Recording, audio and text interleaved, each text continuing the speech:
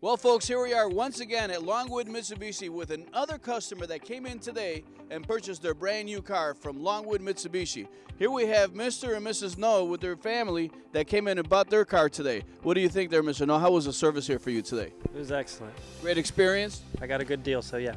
Payments were great? Yep. How about you, Mrs. Noah? What do you think? I'm really excited to drive the new car. Fantastic. There you are. So you've seen a lot of folks that have come down to Longwood Mitsubishi. We're making everyone's dream come true, and they're going home in their brand new vehicle today. And so can you.